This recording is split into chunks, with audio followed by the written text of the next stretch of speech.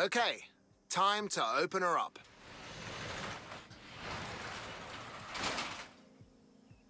Sixty-nine Dodge Charger Daytona.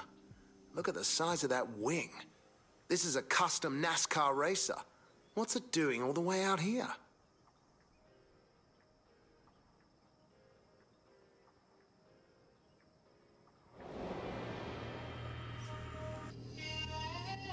I'll get the Charger back to the shop.